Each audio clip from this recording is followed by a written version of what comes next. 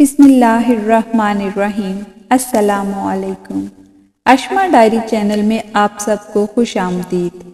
नए आने वालों से गुजारिश है कि हमारे चैनल अशमा डायरी को सब्सक्राइब कर लीजिए और साथ ही बेल आइकॉन को दबा दीजिए ताकि नई आने वाली वीडियोस का नोटिफिकेशन आपको बर वक्त मिलता रहे। शुक्रिया।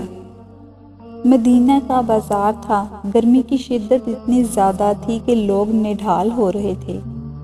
एक ताजिर अपने साथ एक गुलाम को लिए परेशान खड़ा था।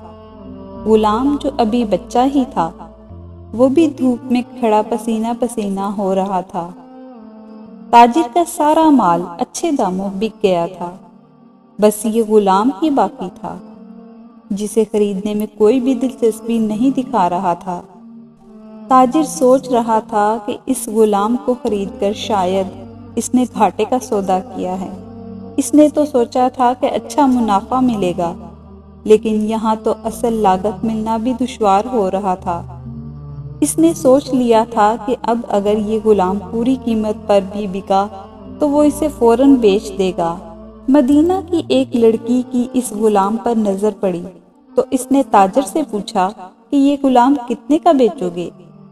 ताजर ने कहा कि मैंने इतने में लिया है और इतने का ही दे दूँगा। इस लड़की ने बच्चे पर तरस खाते हुए इसे खरीद लिया।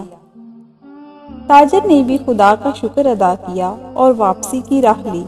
मक्का से अबू हुजैफा मदीना आए तो इन्हें भी इस लड़की का किस्सा मालूम हुआ। लड़की की रहम दिली से मुतासिर होकर उन्होंने इसके लिए निकाह का पैगाम भेजा, जो कबूल कर लिया गया। यूँ वापसी पर वो लड़की, जिसका नाम सबीता बिनत यार था इनकी बीवी बनकर इनके हमरा थी और वो गुलाम भी मालकन के साथ मक्का पहुँच गया। अबू हुजैफा मक्का आकर अपने पुराने दोस्त उस्मान इब्ने अफान से मिले तो इन्हें कुछ बदला हुआ पाया और इनके रवैये में सर्द मोहरी महसूस की। उन्होंने अपने दोस्त से इस्तफार किया कि, उस्मान, ये सर्द मोहरी क्यों? तो उस्मान बिन अफान ने जवाब दिया कि मैंने इस्लाम कबूल कर लिया है और तुम अभी तक मुसलमान नहीं हुए तो अब हमारी दोस्ती कैसे चल सकती है? अबू हुजैफा ने कहा तो फिर मुझे भी मोहम्मद सल्लल्लाहु अलैहि वसल्लम के पास ले चलो और इस इस्लाम में दाखिल कर दो, जिसे तुम कबूल कर चुके हो। चुनाचा हज़रत उस्मान रज़ी अल्लाह ने इन्हें नबी करीम सल्लल्लाहु अलैहि वसल्लम की खिदमत में पेश किया और वो कलमा पढ़कर दायरा इस्लाम में दाखिल हो गए। घर आकर उन्होंने अपनी बीवी और गुलाम को अपने मुसलमान होने का बताया तो इन दोनों ने भी कलमा पढ़ लिया। हज़रत अबू हुजैफा रज़ी अल्लाह ने इस गुलाम से कहा, चूँकि तुम भी मुसलमान हो गए हो इसलिए मैं अब तुम्हें गुलाम नहीं रख सकता। लिहाजा मेरी तरफ़ से अब तुम आज़ाद हो। गुलाम ने कहा, आका, मेरा अब इस दुनिया में आप दोनों के सिवा कोई नहीं है। आपने मुझे आज़ाद कर दिया तो मैं कहाँ जाऊँगा? हज़रत अबू हुजैफा रज़ी अल्लाह ने इस गुलाम को अपना बेटा बना लिया और अपने पास ही रख लिया। गुलाम ने कुरान पाक सीखना शुरू कर दिया। और कुछ ही दिनों में बहुत सा कुरान याद कर लिया। और वो जब कुरान पढ़ते तो बहुत खूबसूरत लहजे में पढ़ते। हिजरत के वक्त नबी करीम सल्लल्लाहु अलैहि वसल्लम से पहले जिन सहाबा ने मदीना की तरफ़ हिजरत की, इनमें हज़रत उमर रज़ी अल्लाह के साथ हज़रत अबू हुजैफा रज़ी अल्लाह और इनका ये ले पालिक बेटा भी था। मदीना पहुंचकर जब नमाज़ के लिए इमाम मुकर करने का वक्त आया तो इस गुलाम की खूबसूरत तलावत और सबसे ज़्यादा कुरान हिफ्स होने की वजह से इन्हें इमाम चुन लिया गया।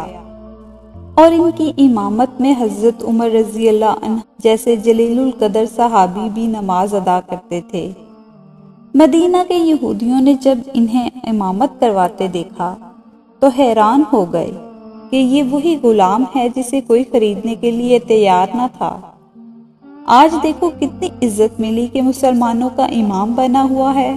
अल्लाह ताला ने इन्हें खुशगुलू इस कदर बनाया था कि जब आयात कुरानी तलावत फरमाते तो लोगों पर एक महवियत तारी हो जाती और राहगीर ठटक कर सुनने लगते।